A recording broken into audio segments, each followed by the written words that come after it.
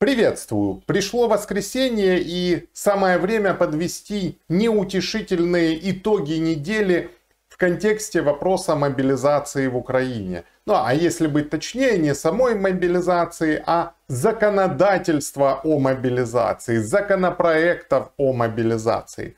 Почему эти итоги неутешительные? Потому что как мне кажется, все-таки государство, меняя подходы к вопросу мобилизации, должно было сделать то, что в первую очередь от него хочет человек. А человек хочет справедливости. И в первую очередь справедливость должна начаться с того, что людей, которые нарушают права этого человека, а мы говорим о тех представителях ТЦК и СП, которых мы видели на многочисленных видео, их нужно было привлечь к ответственности и показать, и что человек защищен и что никто не может даже в условиях военного положения в Украине нарушать права человека. К сожалению, до сих пор нам этого не показывают. Но что нам показывают?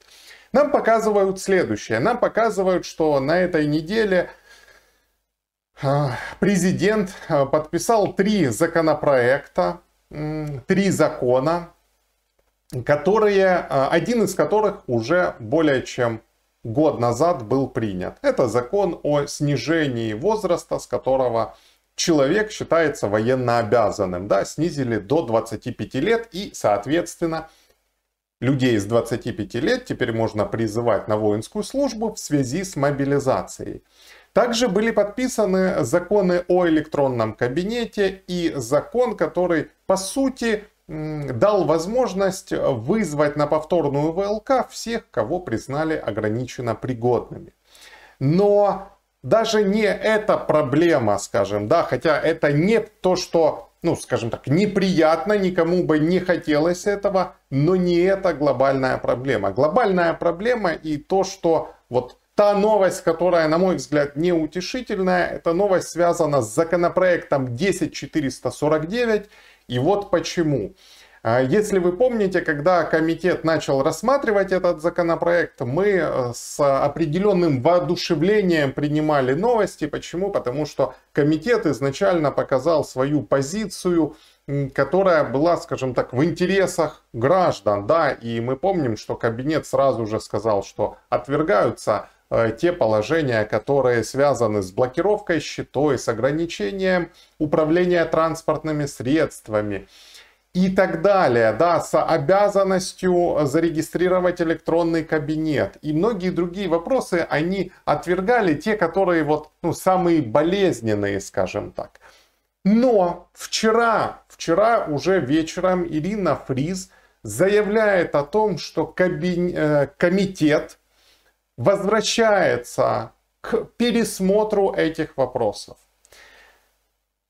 Чем это закончилось, мы не знаем. Чем это закончится, мы не знаем. Но, скорее всего, если они возвращаются к пересмотру этих вопросов, мы понимаем, что вернется вопрос ограничения консульских услуг за рубежом, вернется блокировка счетов и так далее. И вот эти новости, они неутешительны, потому что, ну, мне кажется, что менять так быстро подходы все-таки э, не нужно. Это неправильно. И это то, что, э, понятно же, вызовет определенное, э, определенный негатив в обществе. И с учетом того, сколько уже было проблем связано с мобилизацией, да, какой негатив есть в обществе, все-таки государству нужно было бы подобрать другие решения, найти другие решения, чтобы вызвать у человека ну, скажем так, позитив, насколько можно вообще вызвать позитив э, к мобилизации, да, потому что мы прекрасно понимаем, что этот вопрос в первую очередь связан с агрессией по отношению к Украине, и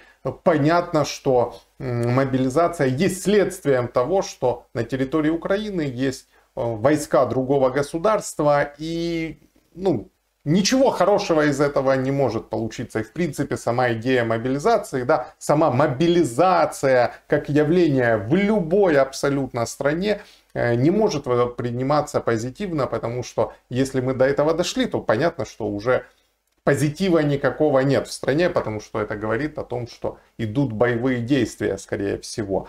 Но вот вопрос в том, что решая проблемы с мобилизацией, нужно находить те подходы, которые будут вызывать наименьшее, ну, такое непринятие, да. А сейчас что мы делаем? Мы говорим, что а давайте заблокируем счета человеку, давайте заблокируем возможность управлять транспортными средствами.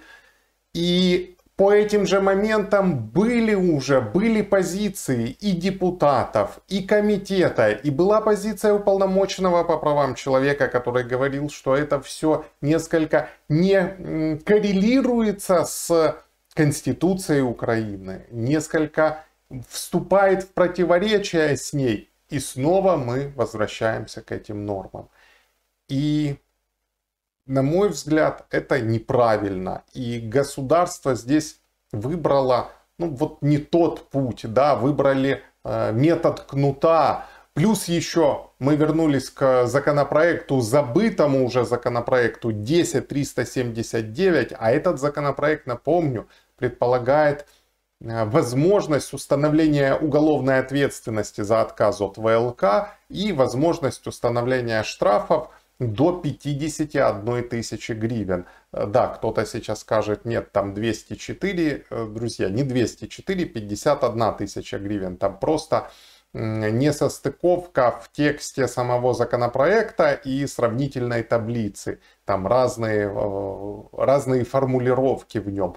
Вопрос, конечно, какая будет окончательно, это вопрос. Но, в принципе, сама идея установить административный штраф даже в 51 тысячу гривен, ну, это, это очень серьезно. А 200 тысяч гривен, ну, это вообще, мне кажется, некорректный подход, да, потому что мы можем найти массу штрафов, э, которые меньше сумма да, и это уголовные штрафы. То есть за преступление ты можешь получить меньший штраф, чем за вот правонарушения, связанные с нарушением мобилизационного законодательства, законодательства о воинской обязанности. И что здесь, наверное, нужно сказать? Нужно сказать, что э, те люди, которые собирались выезжать из Украины, вам нужно, ну, скажем так, поторопиться, поторопиться в каком э, плане, что с принятием законопроекта 10449, а я напомню, э, то, что говорят нам депутаты, что данный законопроект будет голосоваться 10-11 апреля. Вот с этой даты могут измениться правила пересечения государственной границы. Я не говорю, что это обязательно произойдет, но есть такой риск. И Оценивая шансы принятия этого законопроекта, мне думается, что они очень высокие и э, с большой вероятностью вот его примут на следующей неделе. И в связи с этим хочу, ну, наверное, порекомендую тем, кто собирался в ближайшие дни идти в ТЦК, там оформлять отсрочку, особенно если это касается отсрочек, связанных с инвалидностью родителей, тестя, тещи, супруги, отсрочки, связанные с доглядом за людьми с инвалидностью, нужно подождать, подождать нового э, закона, потому что сейчас непонятно, с чем вам идти, поскольку уже там через несколько дней правила могут измениться, и понятно, что ТЦК уже по старым правилам перестанут давать отсрочки. Да, это будет отложено до момента вступления закона в силу, и вам нужно будет там идти собирать документы. Ну и чтобы лишний раз не ходить в ТЦК ЕСП, я думаю, что нужно э, подождать принятия этого закона. Мы увидим, что в нем написано, кто имеет отсрочку и какие документы нужны, чтобы получить отсрочку. Обязательно будет э, разбор, подробный разбор этого законопроекта и всех вопросов болезненных и неболезненных, связанных с ним. Мы будем все подробно разбирать.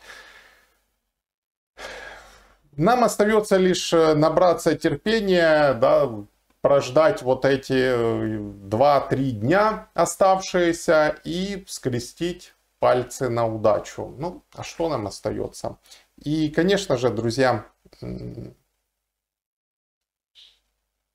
что я вам хочу сказать? Хочу вам традиционно пожелать удачи, благополучия и мира, мира и еще раз мира. Потому что как только воцарит мир, все вопросы с мобилизацией, с военной положением, они просто пропадут сами по себе, потому что в этом не будет необходимости, и мы будем заниматься совсем другими вопросами. Очень бы этого хотелось.